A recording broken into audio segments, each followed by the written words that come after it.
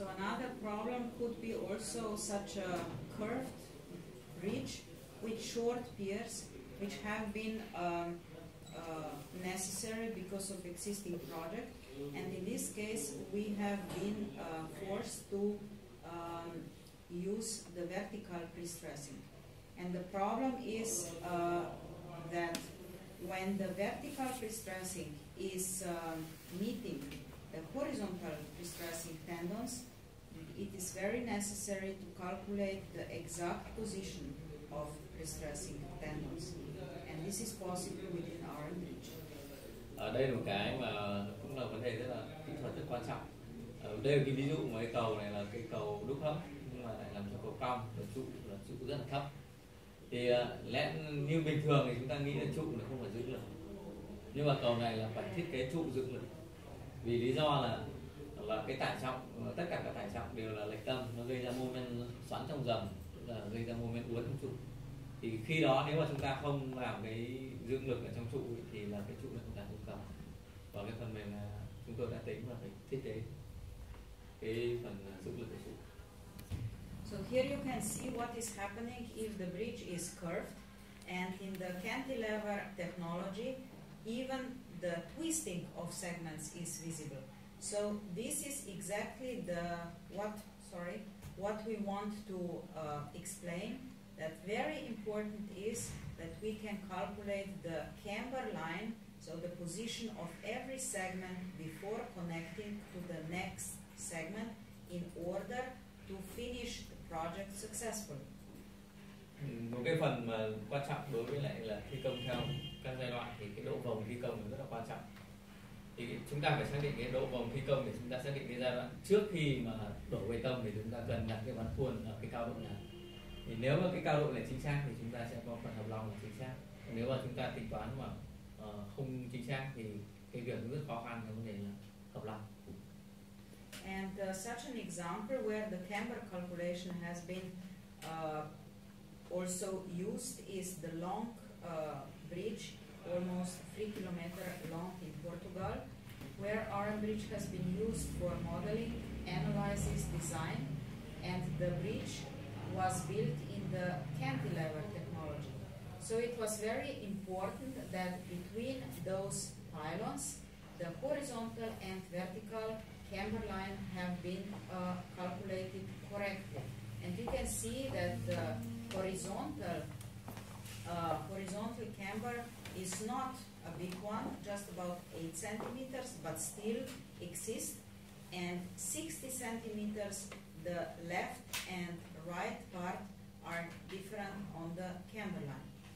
À, đây là cái ví dụ một cái cầu ở Bồ Đào Nha. Thì cái cầu này là nó có cái chiều dài là 3 km nhưng mà là nó có hai cái trụ tháp cái trụ này rất là cao.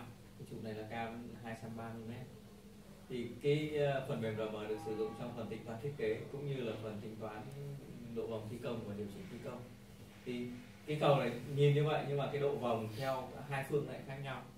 Cái độ vòng theo phương thẳng đứng ấy, thì là tính ra là theo phần mềm này tính ra là 60 cm nhưng mà theo phương nằm ngang tức là nó có cái lực ngang như là sai số ở trong cái quá trình chúng ta căng cáp thì nó dẫn đến và cái uh, uh, các cái lực khác thì nó sai sai số là dẫn đến là cái độ vòng theo phương ngang là 8 cm thì cái phần mềm là hoàn toàn tính ra và cái cầu này đã được sử dụng uh, không có vấn đề gì cả. So another problem could be if you have a very sharp curvature. For example, this bridge is uh, simple, but the problem is very curved.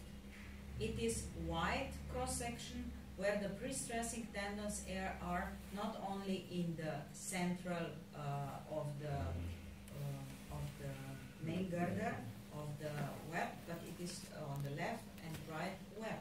So it means it makes a big difference if you calculate the correct position of the pre-stressing tendons, not in the center of center of gravity, but exactly on the left and on the right side of the web. Why? Because we are calculating the pre-stress losses and we also need to consider elastic shortening. đây là một cái cầu ở Israel cái cầu này có đặc biệt là cái bán kính nó rất nhỏ. Thì ở trong đối với cầu cong và bán kính nhỏ thì là uh, hầu hết các phần mềm được xét là cái dưỡng lực là đối với trọng tâm của phần mềm. Nhưng mà vì cái cầu này nó nhỏ và cái cầu lại rộng thành ra là cái vị trí của cái cáp phía bên trái của cái sườn bên trái và cái cái cáp bên phải là khác nhau và khi chúng ta căng thì lực căng nó cũng khác nhau thì phần mềm RM là xét đến tất cả các yếu tố trong không gian của cái cáp thì chúng ta sẽ định nghĩa là cái tải trọng nó đúng hơn và chuẩn xác hơn So in RM bridge you can calculate internal and external pre-stressing tendons. Uh, for internal they can be post-tension but also pre-tension. And we are calculating also elastic shortening. You can get also the exact load files on the pre-stressing tendons. Ờ, trong phần mềm RM thì chúng tôi có thể mô được mô hình được cả cáp dựng trong và cáp dựng ngoài. Thì cái cái phần này là phần cáp dựng ngoài là phần rất là khó. Đối với các phần mềm với các uh, cáp dựng ngoài và cáp dựng trong là hầu như là không có thể biểu hiện khác nhau. Nhưng đối với RM chúng ta sẽ thấy là cái, tại các điểm chuyển hướng cái điểm màu xanh này tại vùng chuyển hướng thì là sẽ xuất hiện ma sát mất mát được giống như là cáp dựng trong thế còn cái phần mà bên ngoài của cái kết cấu thì lúc đấy là cái dương lực nó giống như cái, cái cáp của dây vào. Thì hai cái nó, nó khác nhau. Và trong phần mềm hoàn toàn chúng ta thể xét cái cách chính xác. Và đặc biệt là trong phần mềm là chúng ta thể xuất ra cái cái bản vẽ của cáp dương lực. Để chúng ta kiểm tra là giữa cái mô hình mà trong ờ, nhập vào tính toán và cái mô hình thiết kế nó có sai khác gì không? And uh, sometimes uh, we are requested to optimize the stressing, uh, the stress in the pre-stressing tendon. So we can um, consider the maximum allowable stress on the beginning, so anchorage after the wet sleep, of course, and in the pre-stressing tendon due to AASHTO code. And here the software automatically defines pre-stressing, relaxing, and wet sleep uh, due this possible optimization iteration tool. Đây là cái biểu đồ tăng cáp dưỡng lực. Thì uh, cho từng cáp một thì chúng ta thì kiểm tra được là cái lực tăng ban đầu của chúng ta là bao nhiêu và lực tăng sau khi mà trừ các mất mát thì là nó còn bao nhiêu. Và đặc biệt là chúng tôi có thể trong phần mềm có thể tìm ra các cái điểm uh, maximum tức là điểm lớn nhất của cái cái, cái cáp dưỡng lực mà cái này kiểm tra ứng suất theo các tiêu chuẩn kỹ thuật. Nó có chính xác hay không có đảm bảo an toàn hay không? Thì ờ, phần mềm có thể là uh, cho chúng ta biết là cái trình tự căng phía trái căng phía phải và đóng neo khi nào và chúng ta thì tìm ra được cái biểu đồ cũng rất là khác theo các tiêu chuẩn There are also other materials like combination of um, uh, uh, pre-tension bridge, uh, prefabricated uh, girders. Uh, this is uh, concrete composite, but we can also combine steel uh, girders, uh, open or closed cross section with the concrete slab. And uh, very often uh, we need to calculate also the shear connectors, so they are connecting and assuring no sliding between concrete and steel. Ờ, trong phần mềm thì chúng tôi thể tính toán được các cái loại vật liệu khác nhau thi công ví dụ như ở đây chúng ta nhìn thấy là à, cầu liên hợp và bê tông bê tông hoặc là cầu liên hợp bê tông cốt thép. Và đặc biệt là đối với cầu liên hợp giữa thép và bê tông thì chúng ta hoàn toàn có thể tính được cả cái lực ở trong cái phần neo xuống cắt và trong rất nhiều các phần mềm neo xuống cắt mà bỏ qua. And uh, I told before that we are not only an- analyzing the bridge but also calculating design code checks. So different checks, different um, uh, results of checks are allowable stresses and reinforcement pre-stressing tendons. So static and dynamic checks. Ờ, như tôi đã đề đề xuất ở trên thì là cái phần mềm là phần mềm thiết kế ở đây chúng ta thể kiểm tra được và thiết kế trong cái kết cấu gồm có kiểm tra về ứng suất giới hạn kiểm tra về mô men uốn giới hạn lực cắt giới hạn kiểm tra về độ mở rộng vết nứt kiểm tra về mỏng và các cái kiểm tra khác về động học mà chúng ta đều kiểm tra trong. And uh, when we get the, for every segment, the amount of reinforcement, uh, they are, reinforcement is split in different groups. Uh, depending on the design checks, so bending reinforcement or shear reinforcement, we get here also the reinforcement amount, which is because of uh, shear force only or because of the combination shear torsion. We get also capacity factors, uh, for both, but you can also here input minimum reinforcement before calculation and this will be then considered for the final end result.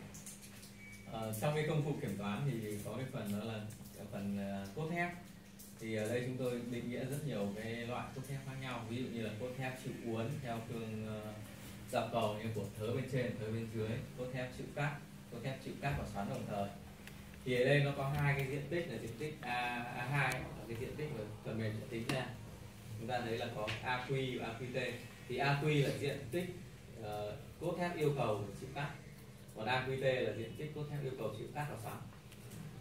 Còn CFQ và CFQT là hệ số là uh, uh, dự trữ mà chúng ta nhìn thấy là ví dụ như là ở đây nó bằng 0,166 nghĩa là chúng ta đang thiết, yêu cầu thiết kế tối đa một thì đây nó chỉ hết có 16 phần trăm.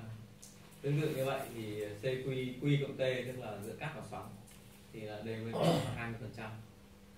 Ờ, thì hoặc là chúng ta thể nhập cái số cái diện tích là A1 ấy, là diện tích cốt thép tối thiểu.